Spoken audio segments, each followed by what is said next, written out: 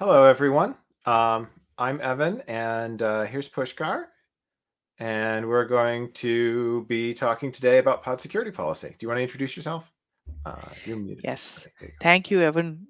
Uh, I'm Pushkar Joglekar. I work uh, with Evan and also in upstream in Kubernetes SIG security, as well as uh, in CNCF security tag. I've been always looking forward to TGIKs in the past as a viewer and excited to be one of the people on the other side this time. Um, okay, so usually the first part of this is um, putting together the show notes. So um, let's take a look at those. Go. And um, for those of you who um, don't recall, the show notes are at tgik.io slash notes. You can see it in the upper corner. Um, feel free to add your own notes to that. Um, exciting stuff that happened in the last week. Well, in the last two weeks since we since TGIK was last live, um, we had our first hybrid KubeCon. So for those of you who have been living completely under a rock for the last year or so. Um, we didn't have KubeCon last year um, because of this little pandemic thing. Um, and now we're slowly inching our way back to normal. And so LA was a mix of people in person with social distancing and masks and stuff like that, and online sessions. And um, I'd say I was there in person, but about half the uh, events were pre-recorded and the other half were um, you know live with questions from both online audiences and in-person audiences. Um, and the cncf has a bunch of pictures i think. There's also a photo album um, uh, but yeah yeah um, i don't know if anyone wants to link or in the talk um, mention any talks that they found were particularly good. Uh, yeah, I mean, for for me, my first KubeCon was in person. I remember uh, that which was the last in-person KubeCon we had, San Diego, and then I was kind of hoping to go back again, and took for a forever, almost like almost two years since we have been in San Diego, and turns out we were few miles away from San Diego in LA this time. So it, it definitely was very weird, different, and interesting to be back with uh, people. And I think hybrid sort of worked for both of us. Like we met both, both of us for the first time together in KubeCon as well. Uh, this KubeCon, it was rather. warm. Yeah, it, it was de- definitely warm and another wonderful city to visit, which is, I think, one of the great things about in person events. You get to be in places you have never been before.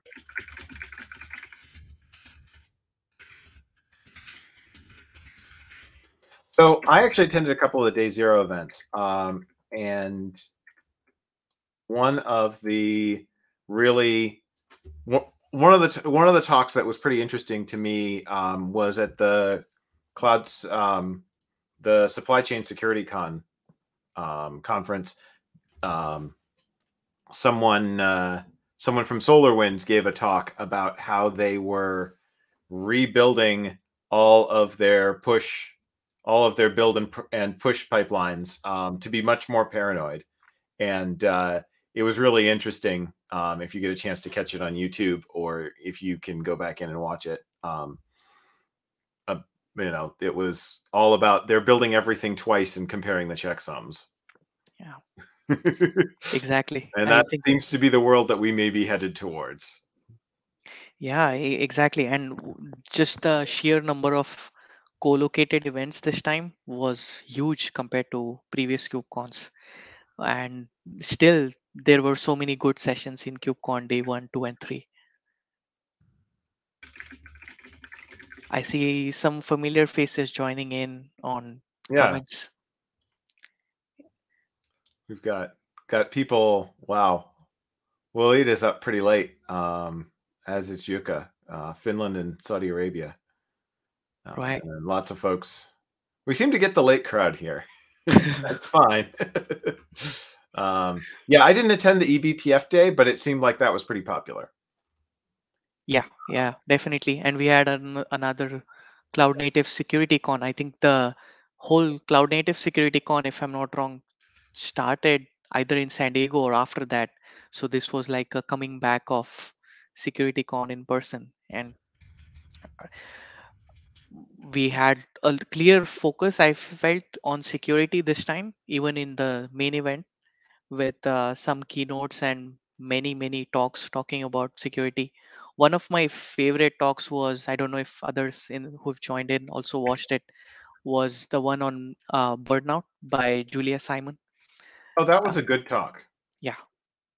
I, I was lucky enough to be a track host for that talk and got to um, ch- chat and listen in so many people like that was probably the most uh, uh, attendees uh, in in in person as well as virtual from what i could remember definitely a good talk considering all of the stuff we have all been through uh, i think there are some good personal lessons to learn from that and hopefully somebody there some felt like okay they are not alone in this can you can you chime in with the author or with the the speaker's name? I forgot that. Yeah, uh, um, that was Ju- Julia Simon. Uh, just a reminder that everyone can type into those notes at the same time, and it all shows up. Yes. Um, and, and, the URL is also simple: tgik.io slash notes. Yep. Um, if you if you know anyone who has reviewed KubeCon already and have a blog post written down, I know few of them have done that already. So put in those links as well.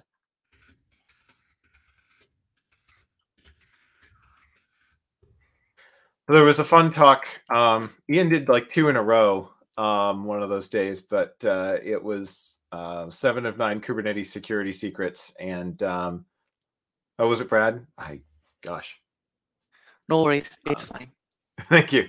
Um, and they had a lot of fun ways to get stuff running in a Kubernetes cluster that maybe wasn't what you might yeah. expect.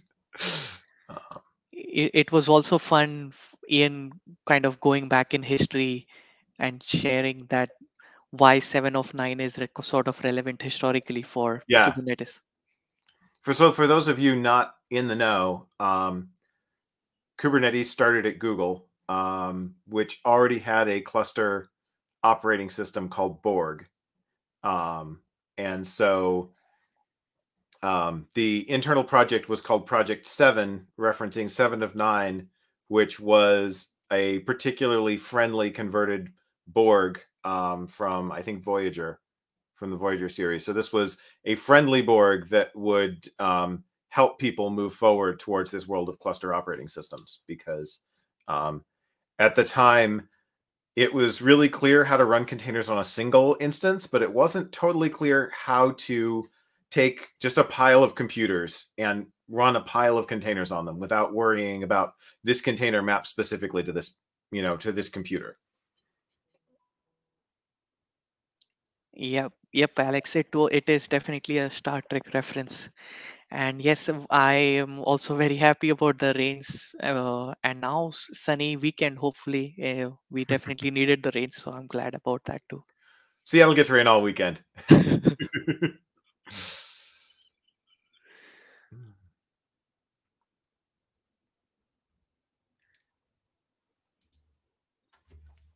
i see some folks ahmed yeah. from berlin and uh, aga from pakistan great it's kind of late for you in Pakistan, yeah. but thank you for joining. Wow. Or early. I'm not sure when that line crosses. Um, yeah, I had a fun. I had fun doing my talk there. Um, I did a talk and um, rebuilt the demo that day, um, but uh, it was it was fun. I got to play with with um, Cloud Native Buildpacks, which is a project that I've sort of poked at from a distance, but now I've gotten into the guts of, I guess. Um, I don't know if there's any core Kubernetes news this week. Um, I haven't seen any big announcements or anything like that. So everyone's yeah. still digesting 122 and isn't quite, you know, the march on 123 hasn't started too much yet, I think. Yes, I if I remember correctly, the only announcement is Code Freeze is coming soon uh, ah. for the new release for 1.23. So the deadline is November 16. I'll just add the link there. So yeah, awesome. if you're contributing and want to make sure it goes in the next release, that's the link.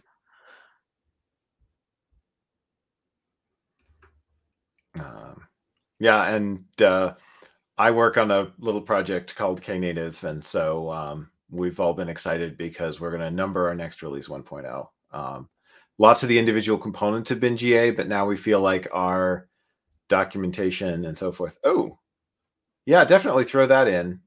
Um, about uh, cluster API went to V1 as well. Um, Knative has a bunch of V1 APIs, but the top level version number was 0.26, which is um, a both a big and a small number. Um, and so the next one, we're going to be starting over the numbering scheme. Yes, and Cluster API had a blog post in celebration of version one uh, in the Kubernetes official blog. So definitely recommend that as well. I'll put in a link there. Oh, awesome. I'll let you do that. Uh, and with that roundup, we're probably going to dive a little bit into pod security policy. Um, so for those of you not in the know, oh gosh, I'm gonna close up Twitter. Um, pod security policy is uh, deprecated. So this is all about a feature that um, you don't want to get on board with because it's going away. But we're also going to talk about why it's going away and the problems it's trying to solve and how we're doing it better next time. Um, do you want to talk a little bit more detail about the history and so forth? Yeah, it, it's so interesting. Like, I think this is one of the most popular features from security perspective in Kubernetes. And it's really like the historical context behind this is Red Hat OpenShift has something called security context constraints, which is SCC, and that was created before PSPs came into picture in upstream, and that was a big uh, sort of influence or uh, uh, something that led to people thinking, okay, this might make sense to have in upstream as well, and then that's when pod security policies came into picture. Uh, in the beginning, uh, there were very few fields that were supported and then slowly slowly features kept getting added. But at the same time we also saw some external admission controllers being created. Like i'm seeing comments about opa and so many others uh, and few others that people are fans of started coming in. And they were able to actually do the right thing in terms of allowing people the flexibility to manage policy outside of the Kubernetes domain and be very specific in terms of what you want to allow and disallow. So that really changed the game. And then there were a lot many other things that happened. So we can keep going if people are interested about what happened after that. Um, I don't know how much we want to talk about like so what's like what's the headline that people really wanted out of this feature? I think the biggest thing was when pod security policies were created was I want my security team to have one place to define what is allowed in my cluster. And then the reason it became deprecated is like a couple of reasons based on like you cannot have something in beta forever. That was a policy that was created which led to really big discussion on okay this has been in beta for a while. And secondly like as more people started using this and all the other external controllers was the usability is not that great. And that's just like being very nice about what the usability was for pod security policies. And that's where the whole deprecation and the newer feature that's called pod security admission came into picture. So pod security is really about making sure that um, you know there's a bunch of interesting fields on the pod spec where if you set them, you can assume basically full control of the kubelet. Um, stuff like privileged, um, stuff like these host PID, host network, and so forth. Um, volume types. If you can, if you can mount a host path volume that gives you um, the kubelets certificate, for example, then you can act as the kubelet to the API server, and then from there you can probably leverage that to get yourself able to modify the kubelet and escape from Kubernetes. And so this is this is kind of a big security layer on the container front. Um, and Docker has some defaults, and Kubernetes overrides some of those defaults, and some of the overrides are um, less secure. Some of the overrides are just different, and some of the Docker defaults aren't great. For example, Docker defaults to your containers run as root unless you declare that you run as some other user. Um, and then Kubernetes overrides that with um, a run as user, which also defaults to zero. so, um, but if it's unset rather than zero, it will use whatever the Docker container says to run as. So that might be safe and that might not, but you can't tell until you actually try to exec that pod. Right. Um, and I'm I think we're getting a question from Carlos related to that. Like what usability problem are we talking about? So you're right, Carlos, that the security context, Uh, and this is very, I think, useful and important point. Regardless of PSP or pod security admission, the security context piece is not changing at all. We can still use it, and they're not really relevant in terms of migration from one to another. But the main thing, as an example, was you couldn't do a dry run with a PSP for what will happen if I apply a pod security policy to my existing cluster for a few namespaces? Is this going to allow me to essentially fail uh, things or, or would I know where before failing uh, so that I can uh, have some confidence that this policy is actually going to work as expected. So that dry run feature is something that came up in the newer replacement, which I hope we get to play around with. We will we will get to play around with that a little later. I feel like this is another big um, problem with pod security policies. Um, this is a feature which is off by default, and when you turn it on, it slams the door closed until you set up security policies that allow your existing pods to run. And right. so um, I've got a cluster, you know, I've, I've set up two clusters um, and, you know, we can, we can try turning on pod security policy um, admission controller and then see about running a new pod and, uh, you know, we'll see that it doesn't work. But then I can also go and kill some existing pods and we'll see what happens there too. Yeah, exactly. Correct. I think that's going to be fun to know what happens when PSP is disabled and you have existing pods. And when it's enabled, you try to create a new pod. What happens to that and what happens to the existing pods? So definitely going to be helpful.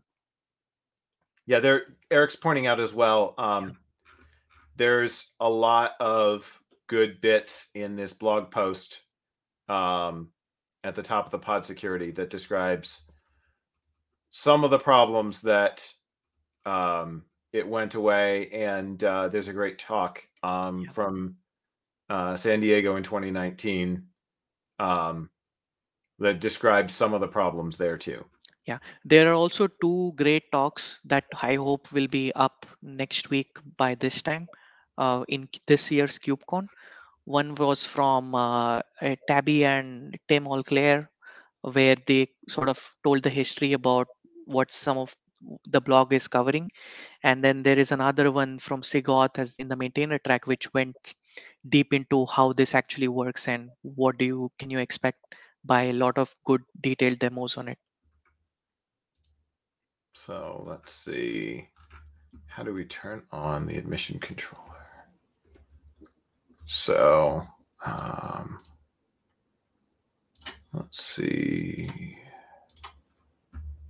about sharing this. Okay. Oh, that's fun. Um, so here I've got a Kubernetes cluster. Um, we're running version 122, so we've got the different APIs available. And let's see, we've got some pods. And this is just on a single node. So let's see, let's just SSH in.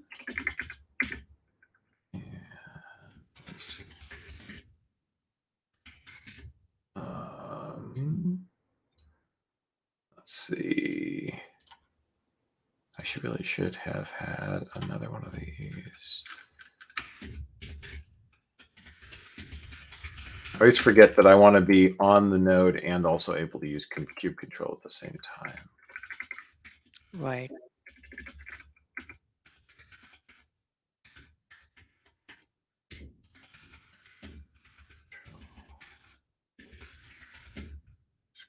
People are asking even why are you using Windows?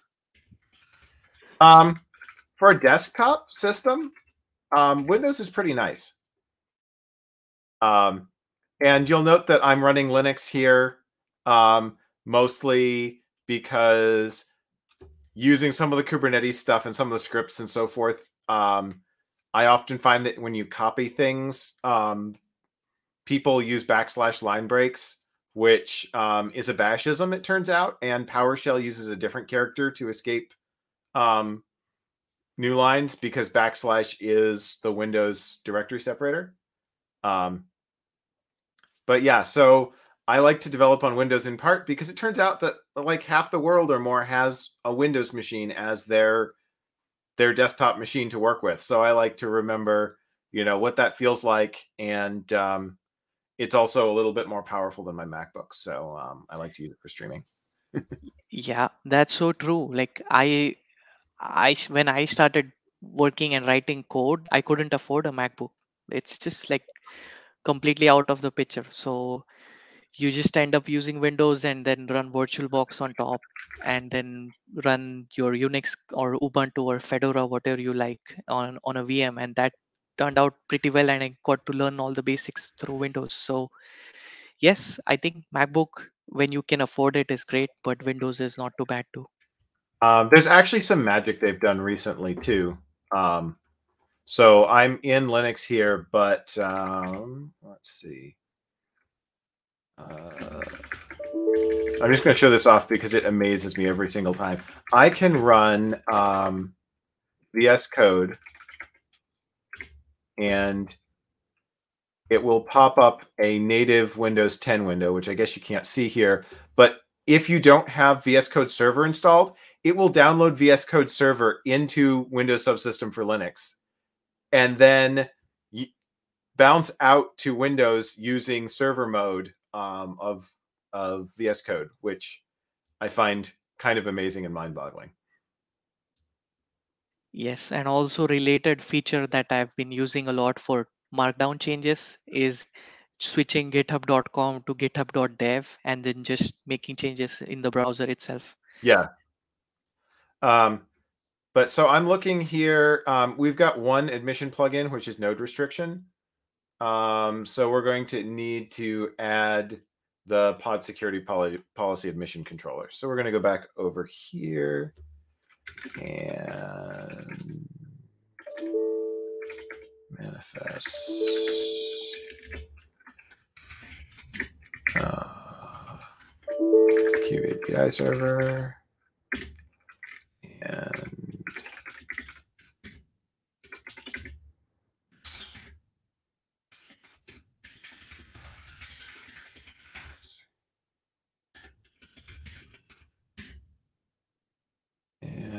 let's see.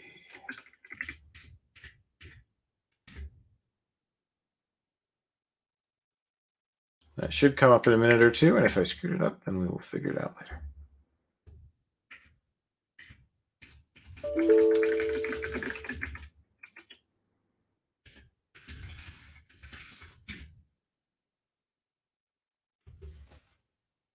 So that's exciting. Um, where am I getting this answer from?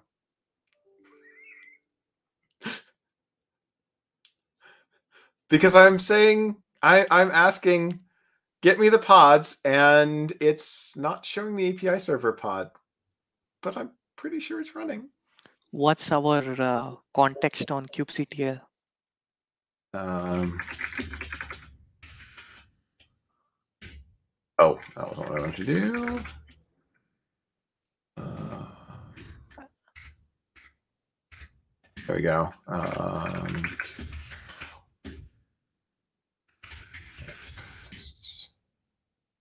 oh, well, that's not very useful. Um, give me just a moment. Um, but I'm pretty sure this is the same cluster because if we look at the other cluster, we've got all the pods, including Kube API, API server running. Right. So yeah, and the API server has to be answering things. Right. Like otherwise, we wouldn't get the list of pods. Exactly. Um, but it's not showing up in this list. I have a guess as to why, but um, I'm guessing that Kubelet is actually logging complaints that it's not allowed to run API server. So we are getting tries some to register the static pod. Yeah, we're getting some suggestions from the uh, yeah from the viewers. Looks like uh, Walid is saying because they are mirror pods and not allowed by PSP to create pods, they are created by Kubelet. Uh, and let's see what the logs are saying. Yep. Creating a mirror pod for um, for Kube API server is forbidden because the pod security policy says we're not allowed to add this pod. Right. And the pod security policy we applied yet, or we just oh, enabled we, the we turned on the pod security policy admission controller. Ah, just the controller without the. And policies. we have no pod security policies. Ah, that explains. So, it. um, yeah. So this is this is an awesome failure mode. I will point out where your static pods start to disappear from your system if you modify them because Kubelet tries to mirror them back and is told no, you're not allowed to do that. Um, in addition, any new pods that we tried to create would also get blocked. Um, yeah, exactly. this is this is where the dry run feature might have been helpful. Yeah. Um, and then so my guess would be we would have to create a policy first and allow a specific namespace to run as privileged. Yeah, let's go back to the docs. Uh,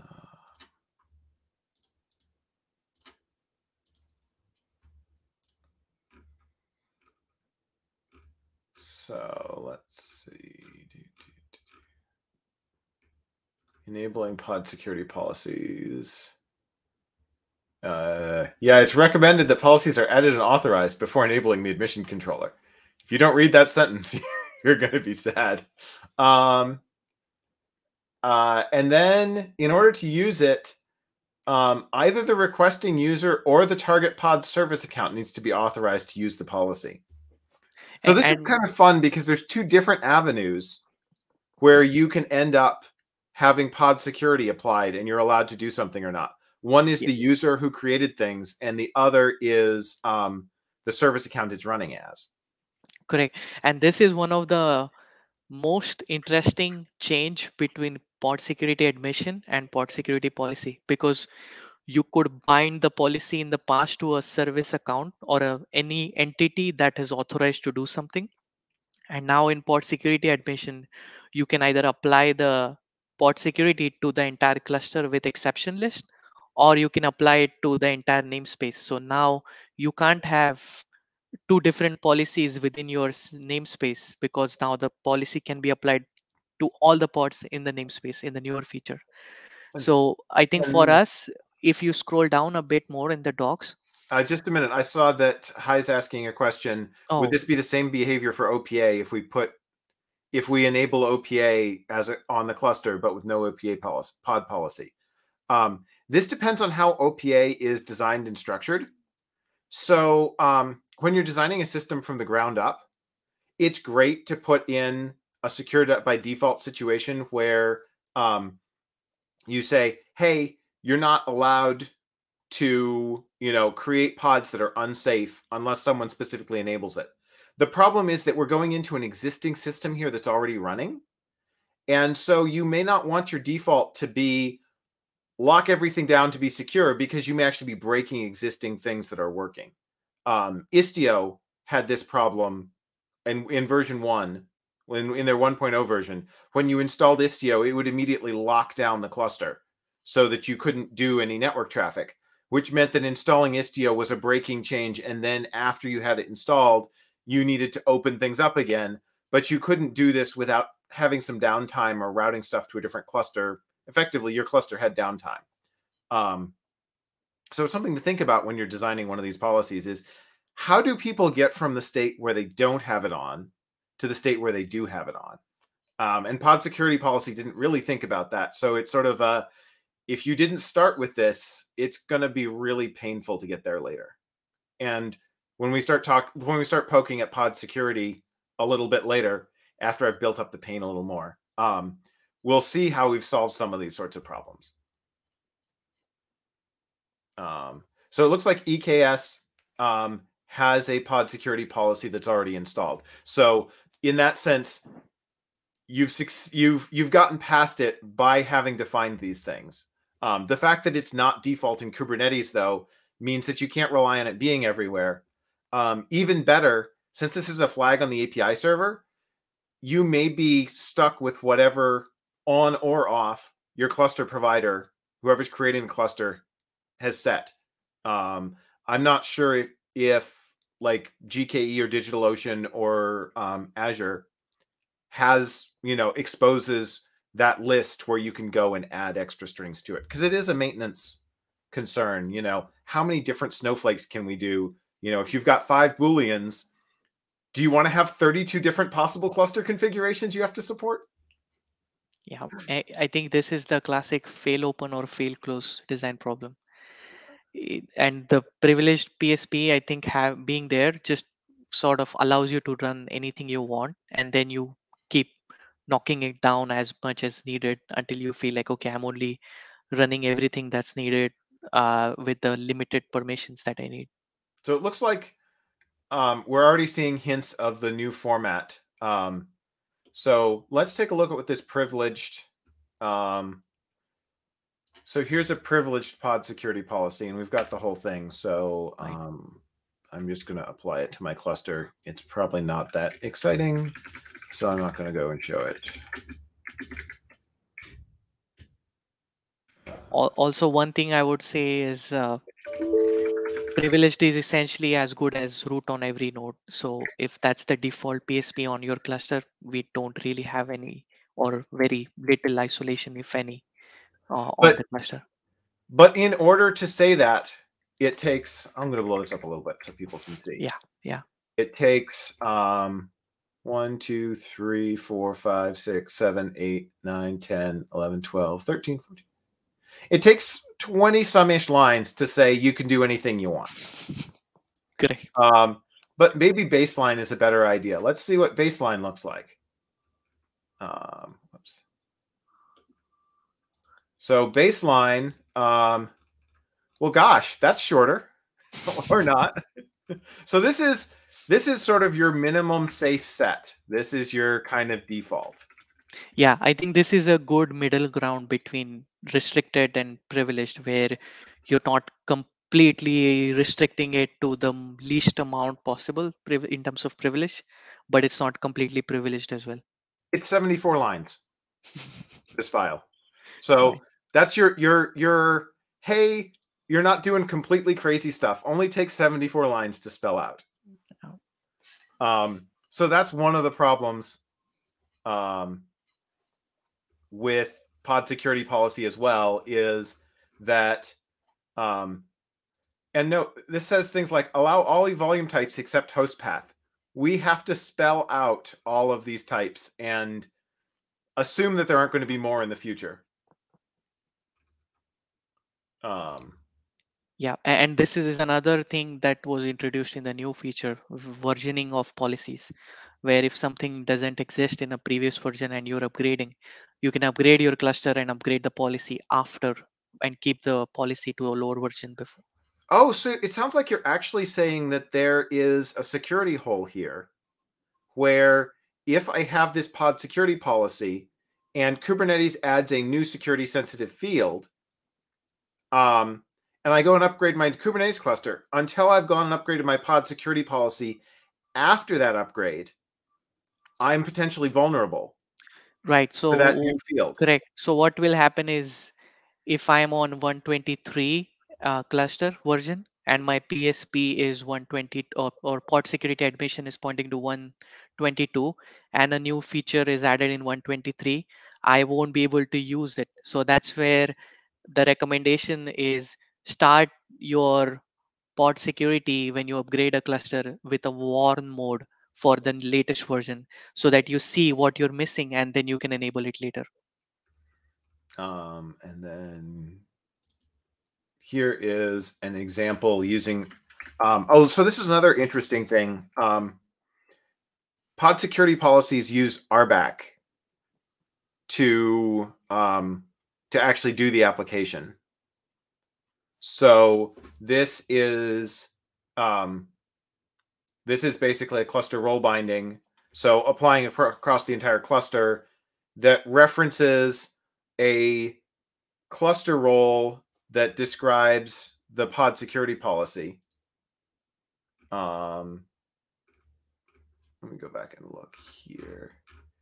Is this so there needs to be a cluster role as well. i think we just scroll past it a bit Yeah, we just There- scrolled past it yeah, up here. Um, so you need to create a cluster role that references the pod security policy and says you're allowed to use it, which is a special RBAC verb. And then with that, then you can go down here and do a role binding that maps you to a particular um, you know, to to one of these things. So you kind of have like three resources you need to look at as well. Um, and you need to understand Kubernetes RBAC and the particular way it's used here in order to figure out what's going to happen. yeah exactly it's sort of like a, a chocolate block where if you have to eat it you have to remove the wrapper then remove the foil and then you get the chocolate Um, so yeah, and unfortunately, it looks like because all this is security sensitive stuff, and everyone wants to set up their cluster a little differently. Um, this suggests oh, bind these to specific namespaces like development or canary or something like that. But there's not actually a recipe I can copy to follow and just have a secure cluster. yeah exactly Um, it's it's a lot of manual labor for sure I was I was looking at oh let's just make my cluster you know let's copy and paste and bring my cluster back into compliance and it's not going to be copy and paste here um it's going to be you know okay maybe I can copy this cluster role binding and adjust it and maybe I think baseline is sufficient for my cluster so I can bind that to system service accounts and that means Right. all the service accounts but I'm still going to need to um go up here and copy this cluster role and fill in a name and um, which probably needs to be um, PSP baseline right in order for this to work. And then I need to fill out that list of resource names. And so, you know, at the end of all of this, we're going to have like 100, 110, 120 lines of cluster config um, to keep track of and so forth. Uh, correct and, and and- i think this is one of out, this isn't actually everything you need for a secure cluster.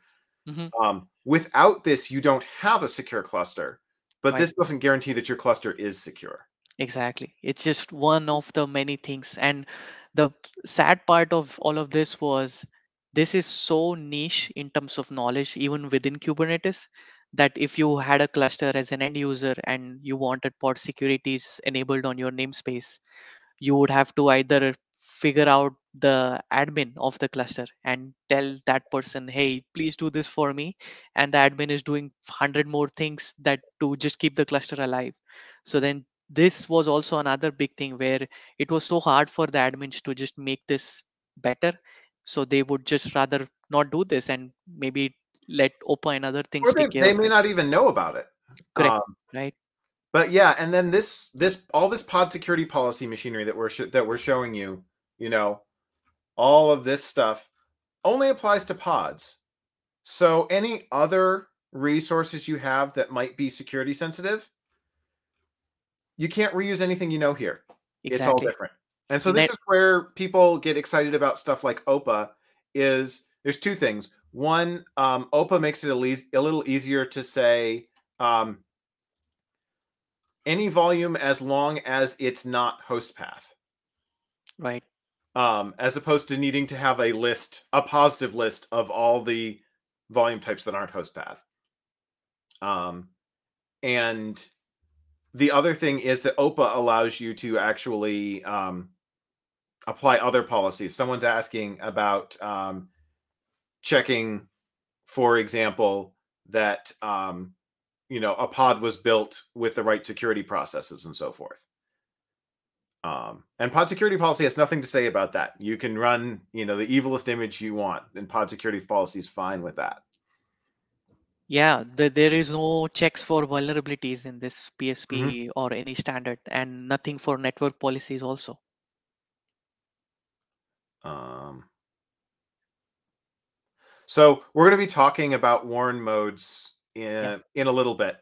Um, we're almost done pointing out the the challenges here with pod security policy.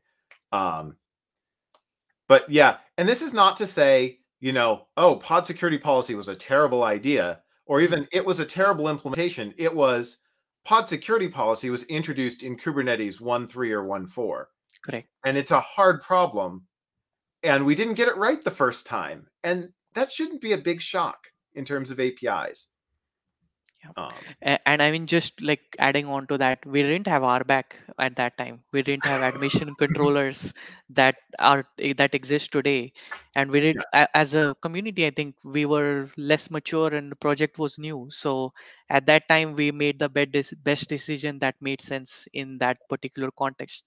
And that is why we have deprecation cycles where you get to fix things that now don't make sense and so yeah um, one of the things you would have seen as you were watching me apply this stuff to my cluster was um, warnings from the api server which still isn't being admitted into the uh, list of pods yet.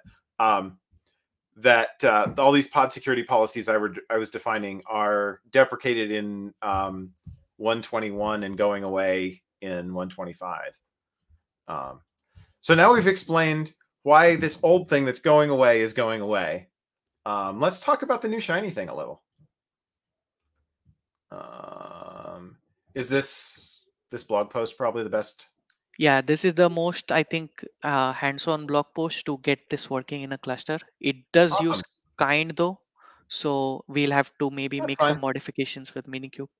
Um, so yeah, so the first thing to know is this new pod security admission stuff. Um, it's new, right? Yeah, it's new. Uh, I actually remember writing code for this a few months back when we released it in alpha.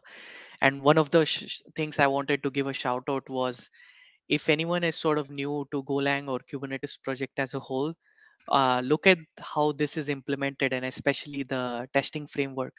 I think it was one of the best things I saw uh, in, term, in terms of how you can make something that is difficult to write easier for others so that somebody who is not very familiar with Go or Kubernetes can pick it up. So in in summary what it did was it created auto generating test cases. By letting the test case fail after you run, write a code for let's say host network feature and then when it failed and you said okay fix this it automatically created the test which allowed it to pass. So which was very very brilliant and i think shout out to jordan and tim Allclair for going through and writing all of that But also, you said this is alpha.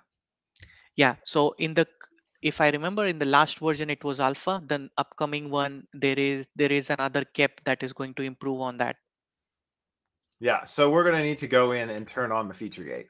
Yep.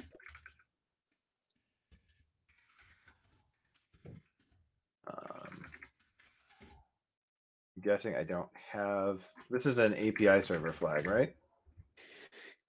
That yes, it should be feature a gates? feature feature gate flag. Yes. Okay, so let's do that. Um, can't go worse than the last time.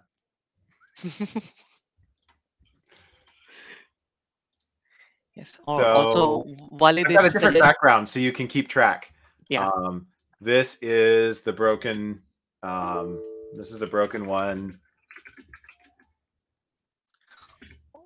Also Walid is sharing that uh, Which we should have- have another code review session for TGIK, uh, which talks about how the pod security admission is implemented. I think that's a Yeah. good good suggestion.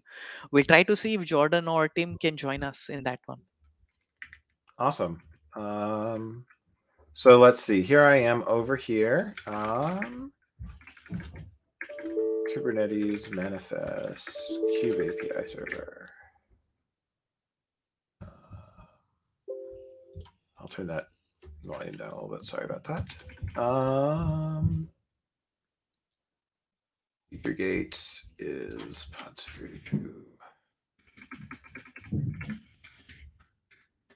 monster. So we will alphabetize this.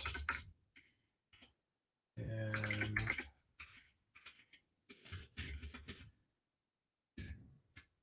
let's see.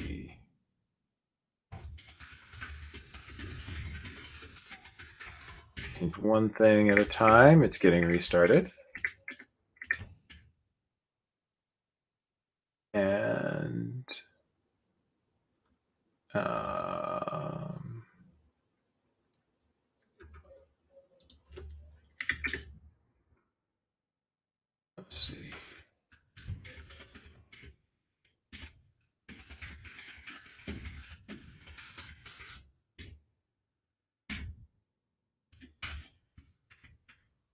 let's see what's going on. Um,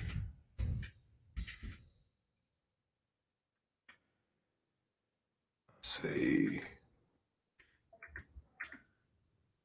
Well, it's complaining about not being able to reach the API server, but it doesn't seem to have logs that indicate a problem. Um,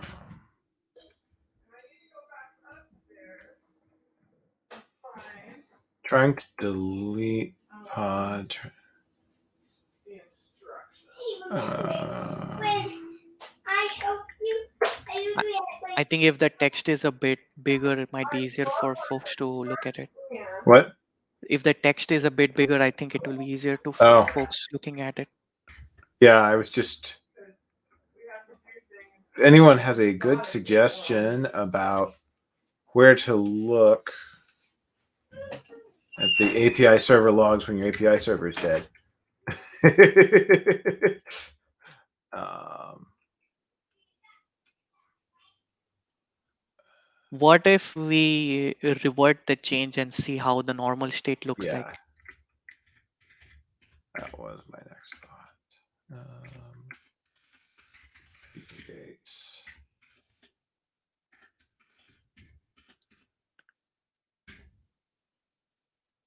Uh, looking for a log. Oh, CR, CRI control. That's a good idea. Well, let's see. First of all, it's still. Uh,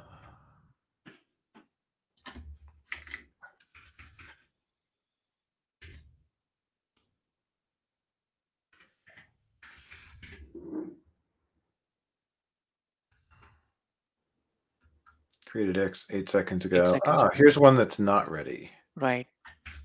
Okay, let's see.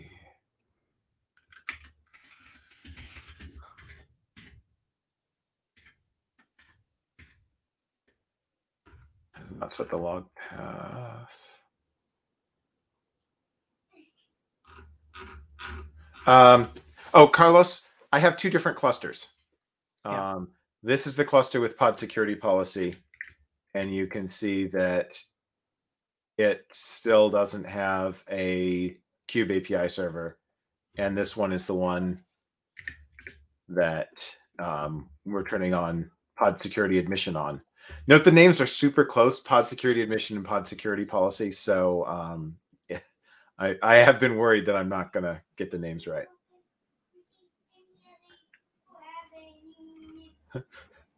I have many clusters because I keep breaking them. Yeah, and I exactly. like throwing them away. Um, I think o- let's see. What if we use inspect on this? Um, completed. Let's go back and try.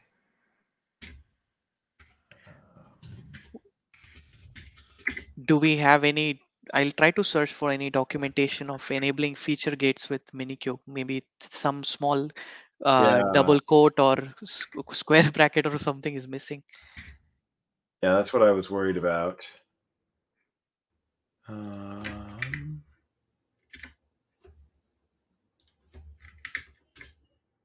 okay, here's the new. Here's the new Kube API server. Why did Kube Scheduler get started too?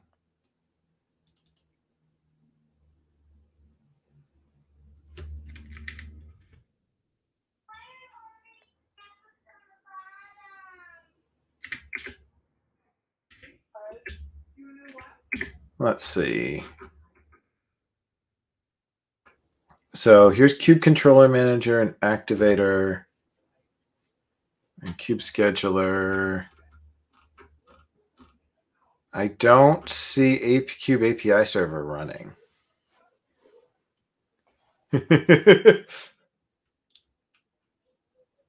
so Uh, everything else except api server is up it looks like it, um, which is unfortunate because API server is kind of the one you want. Like if you're going to have one pod, you might as well make it API server. the the docs i'm seeing for minikube don't have the feature flag gate uh, option in a config file oh, it's you're right. It's probably in a config file, not in a not in the API server. Yeah, so they have it mostly uh, feature gate is just added as a command line argument when you start minikube. When you start, yeah, okay. Where do? Well, I can always spin up a kind kind cluster if necessary. Um, but one of the nice things here is that when you turn it on, it doesn't do anything. Um, rather than immediately slamming closed.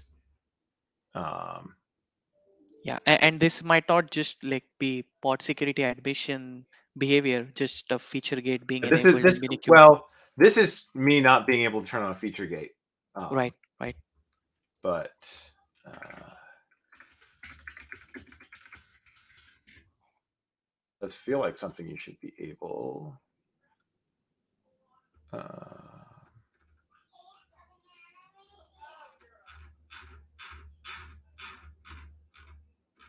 gosh, there are a lot of feature gates out there. Um, but no one actually wants to say where these things get stuck on disk. I know they have to go to disk because otherwise, um, it says using feature gates command line flag on each Kubernetes component.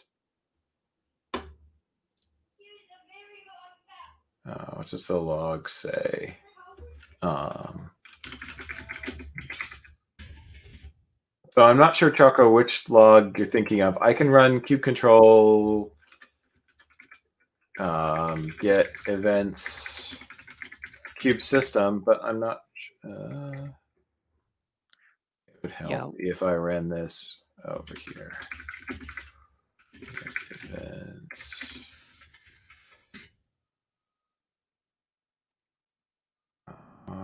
Oh, Hmm, we found. Oh, I do get logs for this. Um,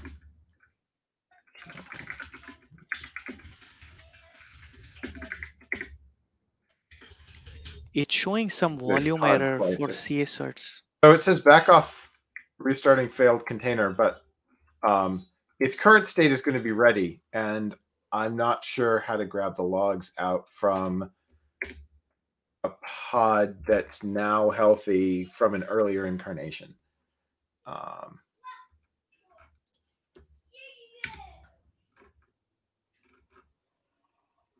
so um, I guess I can just start a kind cluster over here. Yeah, we can try that. I see Premchand giving another command. Maybe we tried it already. Uh, oh, logs dash dash previous. Let's see.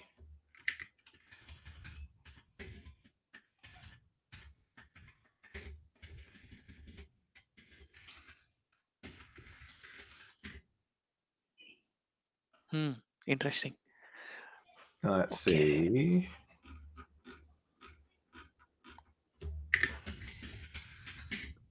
Uh,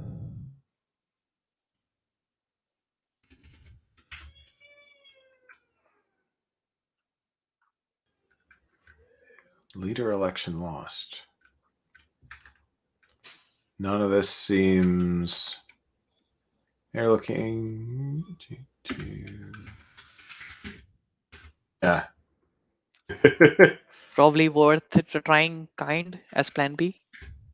yeah. Um,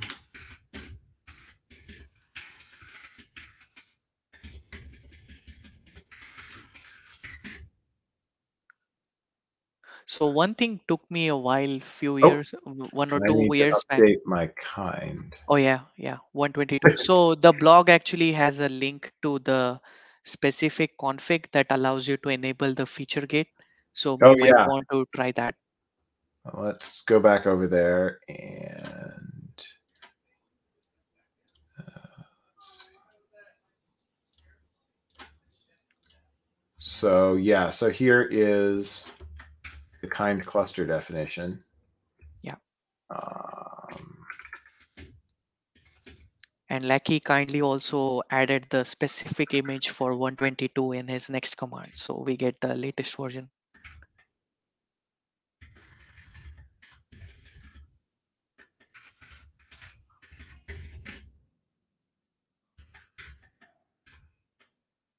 um, wait, you said he included it in there, or we So- need to upgrade kind to?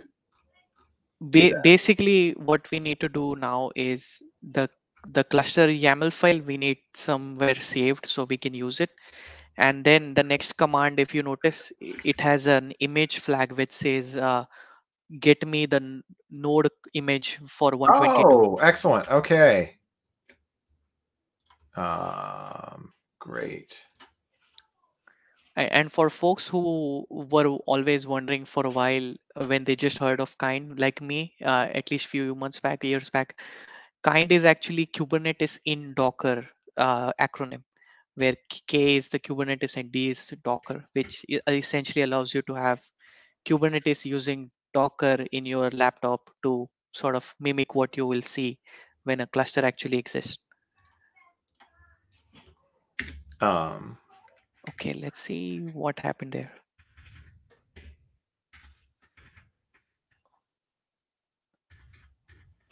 oh, um, someone's formatting turned um, double dashes into M dashes.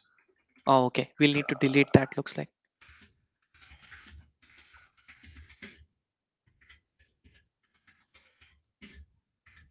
Uh, I'll just delete the kind cluster.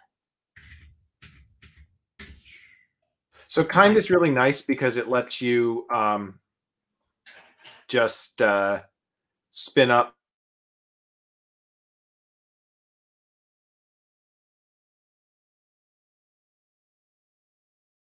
Oh, is it just me or we lost even?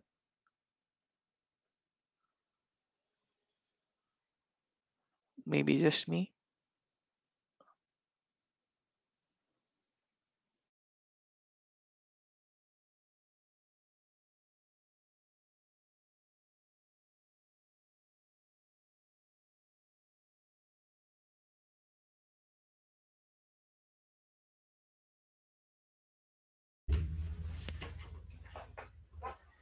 Lost you. Not sure if.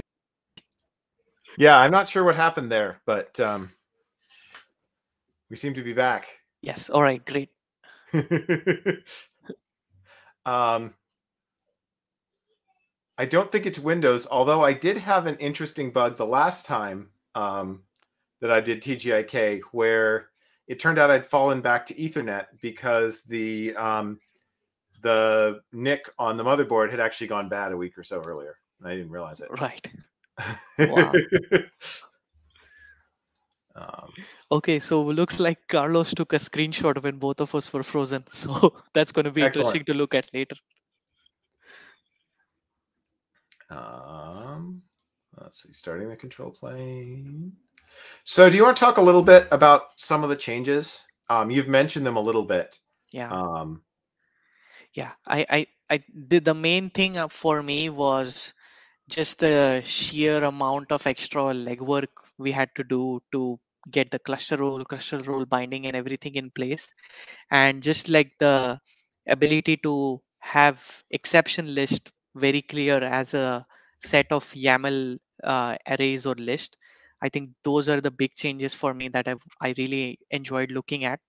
And, and the main thing which was made as a clear assumption when building this was we will always have for any complex scenario existing admission controllers that are external to kubernetes that can be used for advanced special scenarios.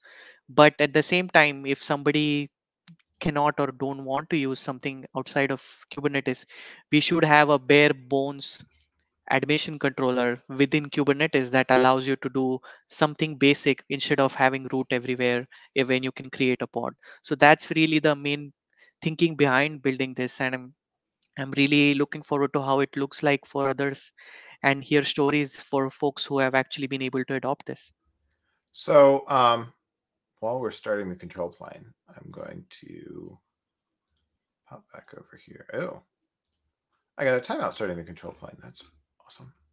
huh Um, what does it say uh, it said that it got a TCP connection refused. Um, so do you remember how over here we were looking at these, you know, policies defined by the pod security standards? Um, is this some new work, the pod security standards? That, you know, when did this come about?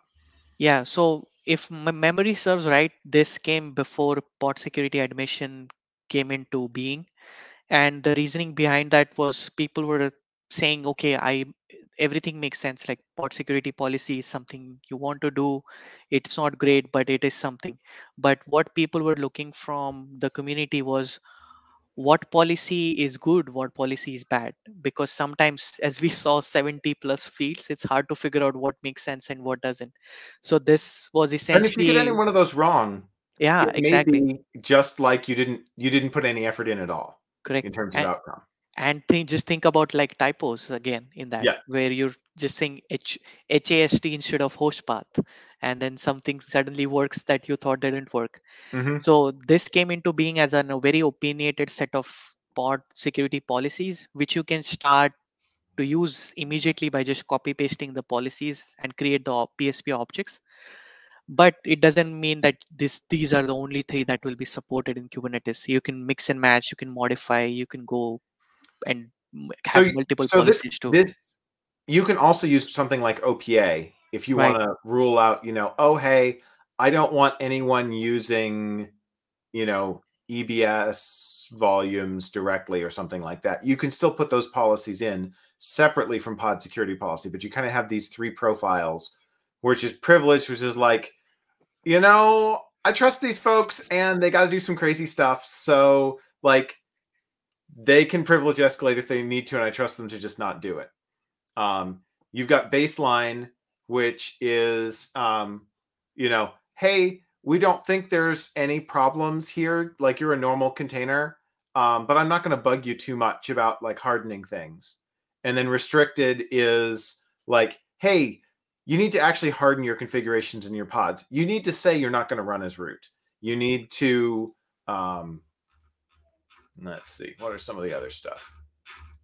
Yeah, and this is mostly also about multi-tenancy, uh, which is another interesting and opinionated word, where if you want untrusted workloads running in the same cluster, you want to isolate it as much as possible. So that's where the restricted policy comes into picture.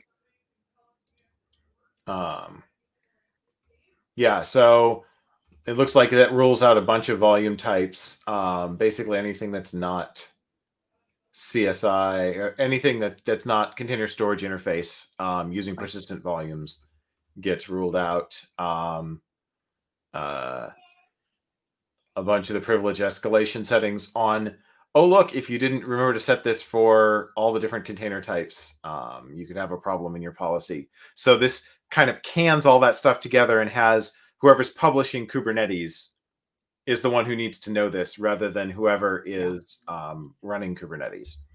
Yeah, exactly. And we can. So what do you want to do? Should we look at the timeout error or just go deep into Um, admission uh, and how it looks Maybe, like? yeah. It seems like the kubelet isn't running or healthy, is what it said. Mm. W- Also, I we don't are know if we we want to spend our time your debugging kubelet or talking about some of the other interesting. yeah. So we are seeing your browser just so you know, not Yeah, the terminal. Okay, cool. Um, that's what I that's what I wanted to show right now because I thought that Yeah. um, I, I added a note on the uh, recent documentation that was added in Mhm. for pod security admission. We can go through that and kind of explain like what this looks like if you want to implement it. So, um, let's see. So this is our config, and it has pod security, and we did those other things. So I'm kind of inclined to have a no PSA.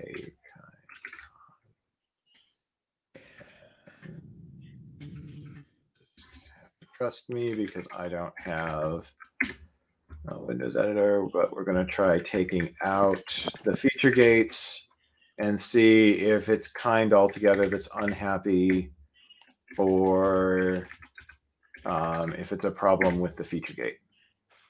Yeah. And I think if this doesn't work, we'll just hop onto the docs and look at what's going Yeah. on. Um, Yeah. In the meantime, I think somebody asked about the warn feature also, so maybe I'll talk about that a bit. Mhm. Basically, there are uh, two feature, three different uh, modes in which you can uh, imp- implement this or apply it. One is warn, one is audit, and another is enforce. So warn and audit are sort of similar. The only difference is warn, when implemented, will log anything that is going to fail if you apply this policy in the output of your command line.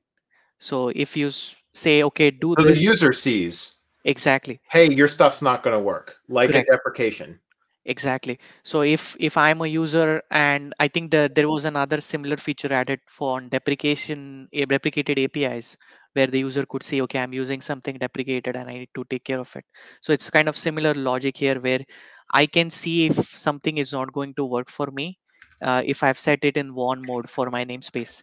And the other one is audit where if I'm a cluster admin and I have access to my audit logs, it will log it in your audit log uh, of Kubernetes API saying this is going to fail if you enforce it. So that allows you to have a different point of view in terms of where to look at some if something is failing, and also allows some visibility into uh, what could fail for others who are not the actual owners of the pods that are going to fail.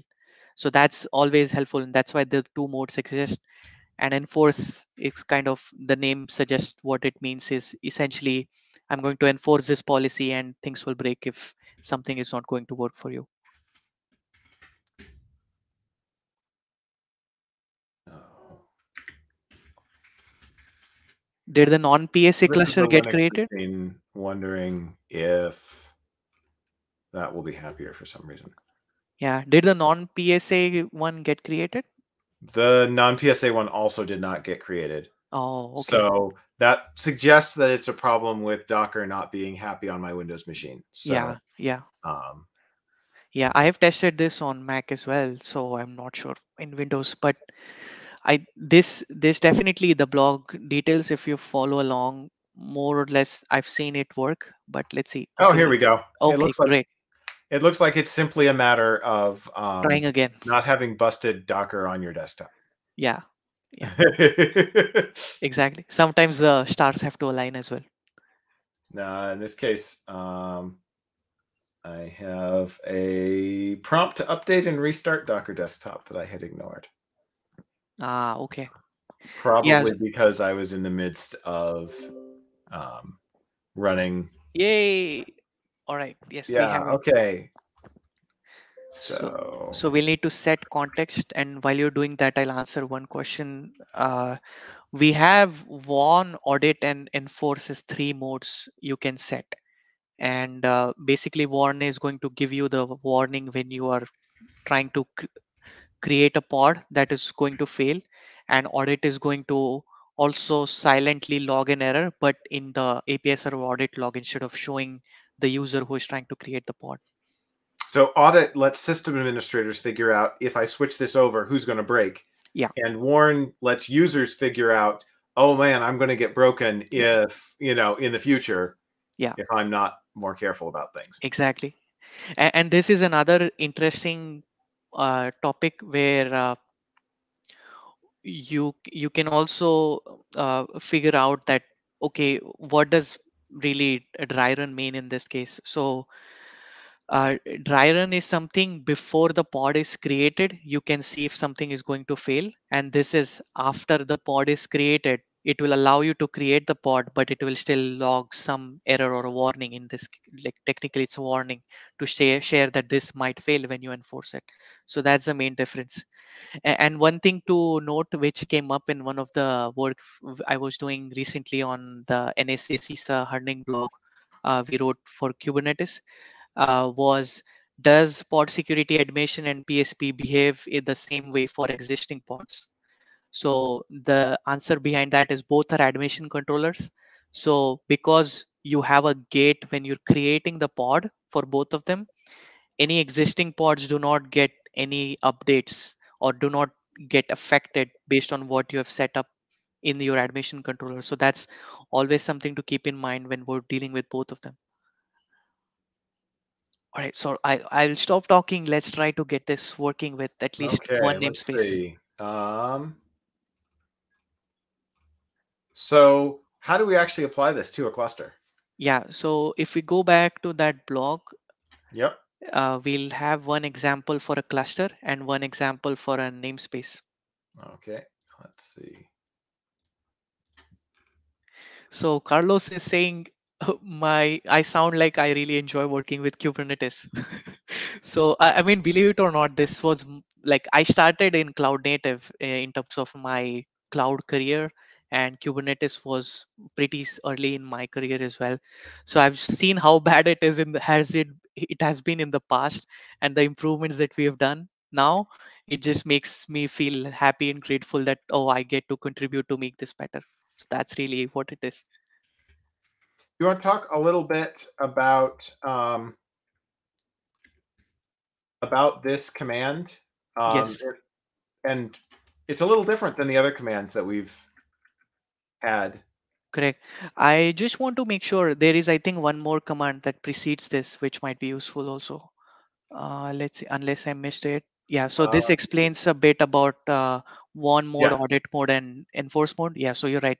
I think this is the first one command. Yeah. So if we look at this, basically what it's trying to say is my namespace is uh, testns, and I'm going to set the baseline pod security standard. So if you remember uh, the pod security standards we just talked about, we are using in pod security admission the same three standards as something that we are going to set built in in Kubernetes. And what that will allow you to do now is I'm going to set my uh, namespace setting for pod security as baseline one. So anything that is going to fail my baseline standard, I'm going to get a warning for it. And it also says that my one version is 122, which is the recent version. So Well, and the other thing is this is using labels on existing resources. This isn't creating um, I'm not creating a new resource, a new pod security policy, or a new RBAC policy, um, or binding the RBAC policy to a set of credentials. Um, this is um, basically we've said the way that you do this enforcement is by namespace. So exactly. You can't have user A in a namespace can create certain types of pods, but user B can't. Yeah, yeah, um, exactly. So that that's the main thing. Like the labels are applied at namespace object level. So anything in that namespace, which is a pod, is going to get the same setting.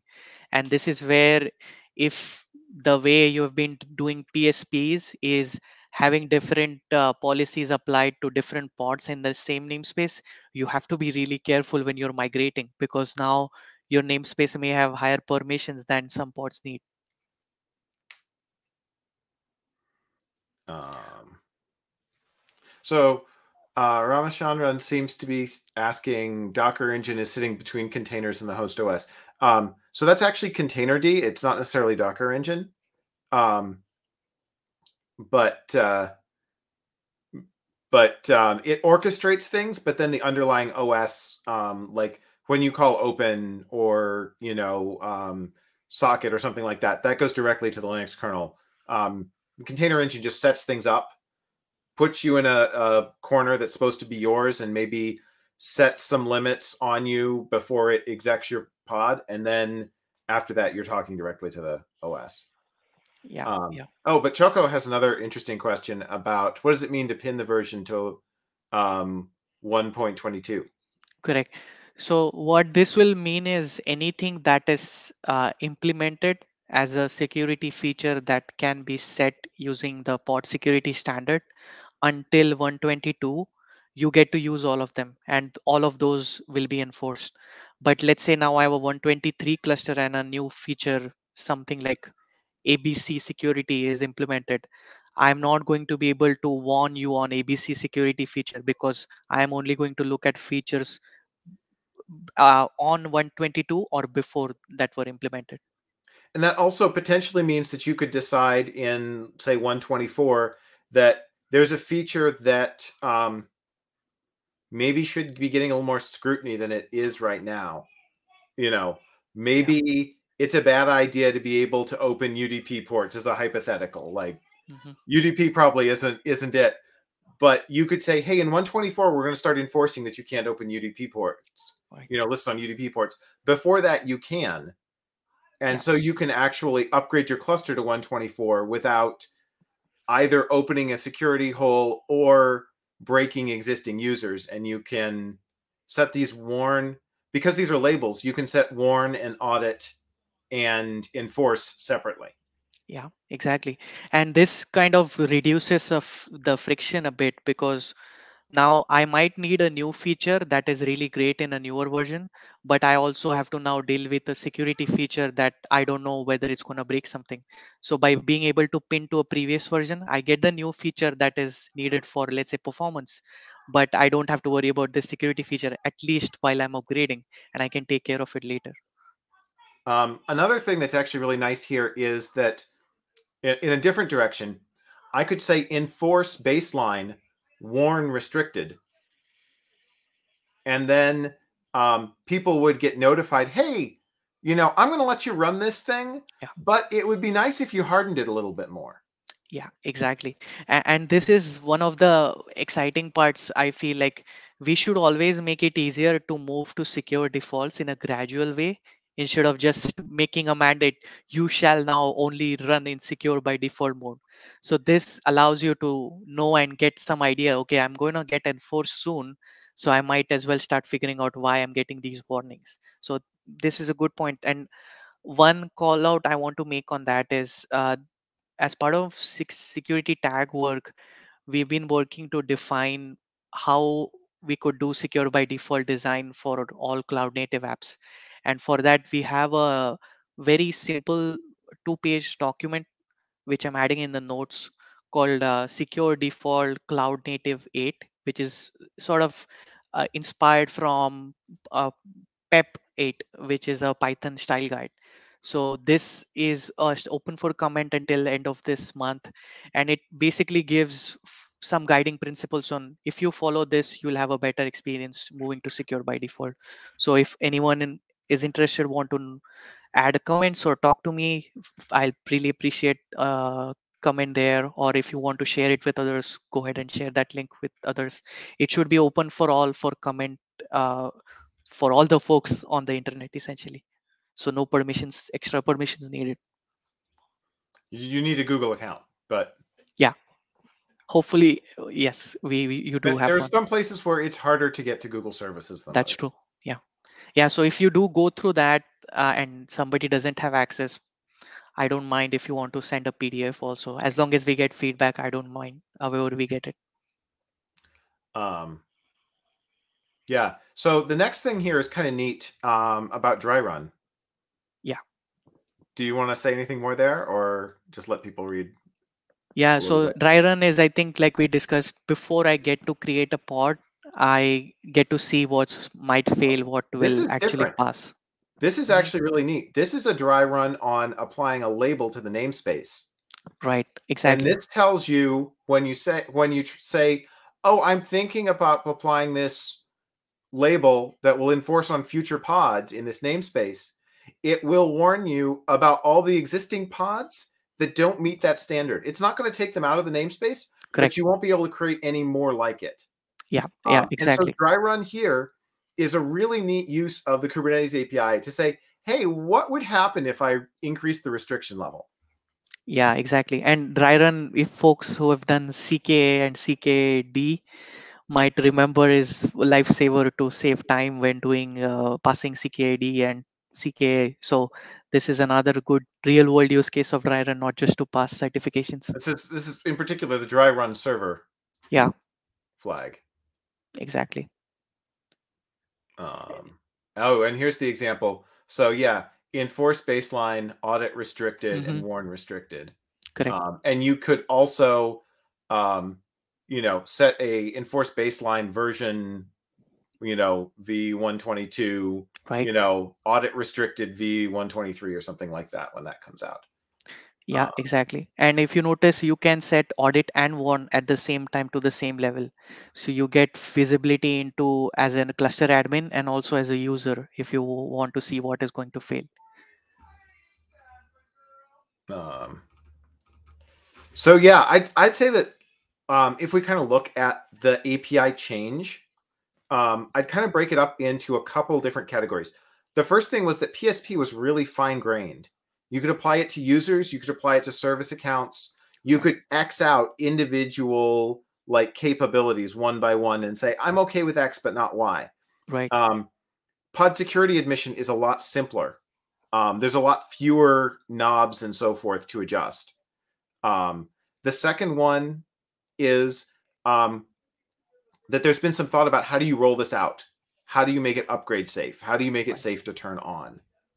Um, and so it's got some versioning capabilities, and um, it by default when you turn it on, it doesn't do anything until you take some other affirmative action to get it enforced. Um, whereas with pod security policy, you had to create all your pod security policies um, on the cluster. You had to know they were right, but you couldn't test they were right until you flipped the flag. Yeah, exactly. And if And- you were wrong, you ended up possibly with funny things like my API server pod not getting mirrored anymore. right right and, Um, and also like you we couldn't assume that any existing pods are not going to get harmed because if you implement something and you haven't done a dry run and a pod gets killed for whatever reason they are not going to come up again so that's where the dry run topic uh, makes sense Yeah. Um, and then the third piece um, is that they've thought a lot about how to communicate Mhm. this to the user. And, you know, stuff like having dry run work and warn you about what's going on in your current cluster um, and having warn and audit so that you can both communicate to the system administrator and to the end user, depending on who needs to, who's responsible for that stuff. And that Right. that's not always the same. And, you know, sometimes you expect developers to DevOps and do the right thing. And sometimes you expect cluster administrators to go in and like talk to people about, hey, you got to change stuff. And I'm going to help you because we don't really expect you to know Kubernetes. We just expect you to work off of some template. Yeah, exactly. And, I think that's where the people who ended up designing this were from end user background. And as a result of that, they had known the pain and the organizational problems and things that everyone needs visibility on. So some of that magic is coming into this implementation. It it doesn't mean it's perfect, but hopefully it's better than the one that's it that is getting replaced. And it looks like there is um, one new at the end of this we see a, a kubernetes resource that is actually new yeah. um, and it looks like this is the configuration for the pod security defaults so if you want to ship um, and say hey all namespaces should be at least baseline nobody's allowed to run privileged right then um, you can actually go in here and do that so hopefully we'll see um, as 122 rolls out um, distros starting to say, you know, hey, we're going to ship with a default pod security that isn't wide open. Yeah, yeah. Or and, we'll ship with one that's default wide open because we know a lot of people are still like doing correct. stuff like that. But um, we're also going to put a you know warn restricted right. on there to steer correct. people towards doing the right thing yeah and, i i mean i've been an end user before as well uh, and one of the things this maps to like real world human interaction is all the security folks don't understand kubernetes as much as we would want them to right so what what would what would make sense for them is what After policy... being at KubeCon, I'm not sure I understand Kubernetes as much as I thought I, I did. Exactly, exactly. So like all of us are learning, and if we just throw a lot of jargon, it's not going to help anyone. So if we can give a nice story and tell them that, hey, our default enforced pod security policy today is baseline, and we are going to make sure, and all the pods uh, automatically get this info and applied regardless of what they are doing uh, and this is our cluster level policy. So this allows them some confidence that at cluster level the, we are doing the right thing and we are catching things that might be uh, scary. And then one or two years later you can say we are always trying to take care of security more and more. So slowly slowly we are going to now move from baseline to restricted enforced and that gives a good story of how you're moving towards more secure default by actually looking at the object that you can say and all the third party auditors all the people who have to go through audits for compliance can give like evidence of this saying hey this is my cluster level policy. So this is what we actually implement in our all our clusters. Yeah so um one thing i didn't actually read all the text before i looked at the yaml and talked about it. Um so that's my bad. Um it looks like this this YAML object is actually a file that you need to pass to your API server on the command line. Right. It's not a resource in the cluster. Right. Right. Um, and we can actually kind of realize that because it doesn't have metadata on there. Mm. Um, and if you don't have metadata on there, then you can't have a name. And so you can't really fit into um, the way the API server likes to manage things. Correct. That's a good point. I didn't realize that too. I didn't realize it at first either until someone was asking. Then I actually read the text above. Yeah. so Lachlan's post also goes over this pretty well, but I thought um, there's, um, I thought it was interesting the set of API decisions that had changed between pod security policy and um, and uh, pod security admission. Yeah, exactly. And the exemptions are the exception list I talked about earlier, where you can say some of my parts are always going to need privilege because it's it's the reality sometimes you do. And you get to say okay these namespaces you're fine. You can do whatever you want. But one thing i would also suggest is make sure you don't give permission for that namespace to all the users in your cluster. Restricted to maybe cluster admins or some folks who really need it like potentially your devops sec devops or security person who needs to run maybe some CNI plugins. So that's something to keep in mind. I was thinking CNI plugins or something like MetalLB yeah, are examples exactly. of things that probably are going to need exceptions. Correct. Exactly. Um,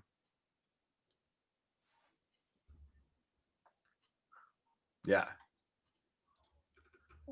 Well, I am. I am excited that um, this is this is one of those things that that beta policy that you were talking about earlier. Mhm. Um, you alluded to.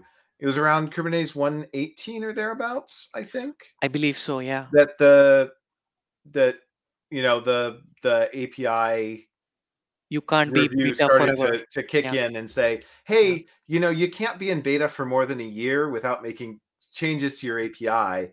Right. If you're in beta for more than a year, if you're ingress or pod security policy or one of these other things, you need to either figure out how to ship a V1 and then we're going to retire your beta APIs, or you need to roll a new beta, or you need to say we're going away and someone else has to try solving this.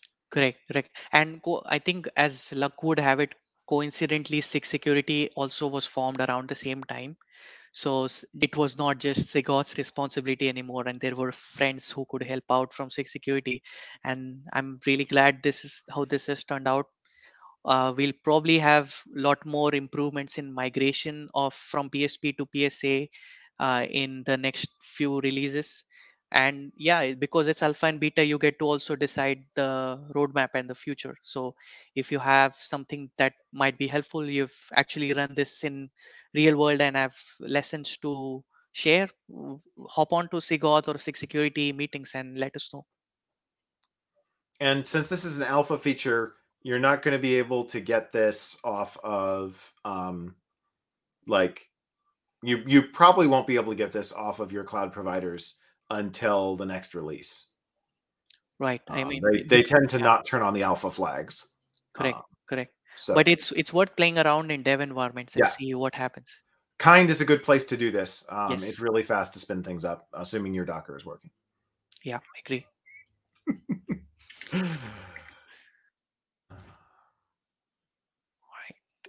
yeah, my Docker is still busted.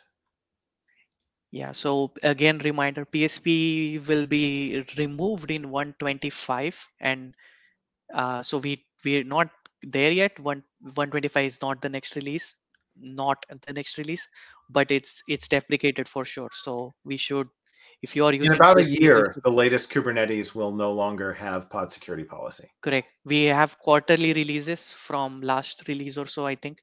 So quarterly It's- releases It's mean three a year now. Oh yeah, you're right. Sorry, I was uh, misremembering three and four months as quarter. Correct. Yeah. You're right. So three a year. So that means if 122 is your latest, 125 is three three versions from now. Yep. Yeah. So um, feel free to continue filling in any notes on talks and so forth or other exciting stuff. Oh, Nginx, Ingress Nginx um, CVE. I wonder if I can guess what this one's about. Um, oh, fun. Allows retrieval of service account token. Yes. Um, One interesting thing to remember here is uh, just upgrading is not going to help. There are some other additional steps that are needed to actually be able to mitigate this in in some way or another. Uh, it looks like you need to also add an additional Right. um, config map setting. Yeah. Um, and it looks like maybe they allowed you to um, inject snippets of other configuration, and it looks like a standard escaping type vulnerability. Yeah, exactly. And this again points to the fact that don't give access to everything to all the users. A- But pod security is not going to help you with this. Exactly, correct. And, and, and if you really don't trust the other tenants, uh, don't run them in the same cluster because something like this could happen. Yeah.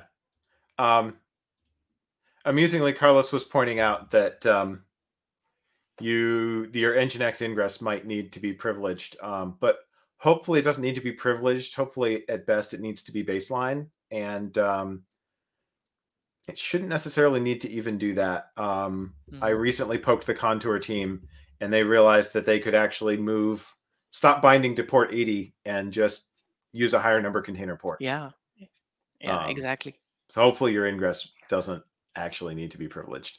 Yes. Um, MetalLB does because it needs to either send ARPs or play with the routing table in funny ways. But Yeah. um, Our, But you're our just an ingress and not a load balancer, hopefully that doesn't apply. yeah. I, also like we got official word on when 125 can be expected from our Oh yeah. emeritus release lead Nabarun. So he says uh, it will be around July August 2022. So about eight nine months from now. It'll take a little bit longer after that for it to get into your hands, unless you're running kind. But um, Right. And one thing to remember is started. Correct. One thing to remember is uh, upstream supports n minus two releases. So we will still end up patching 125 after this, most likely for a couple of releases. But it's definitely time to start thinking about migrating for sure. And if if PSP, uh, if you need f- PSP features that aren't in Pod Security, um, you can still you can still use tools like OPA. Yeah. Um, or Cav- it Kyverno, yeah. Mhm. Kyverno is Yeah. another um, policy agent that works for all different types of resources. So you may need both that and you may want a belt and suspenders with pod security admission controller because um, it's easy to do now. Yeah, exactly. Awesome. Well, thank you. This was a lot of fun. Um, I managed to break at least one cluster and my discover that my local Docker was broken. So um, Yeah, So same fun. here. Same here. I loved a lot. I loved uh, to learn how to fail publicly. So this was great, and it was nice to see comments from everyone all around the world. Oh, JS policy. There's another um, another another admission webhook. Or Carlos points out you can write your own admission webhook if you Yes. love that sort of thing. Okay, well, we'll see you all next week. Um, I think it's going to be Bryan Liles talking about something that Bryan Liles finds interesting. Yes, I'm excited for be that one too. All right. See you, everyone. Thanks, Evan. It was fun. Yep.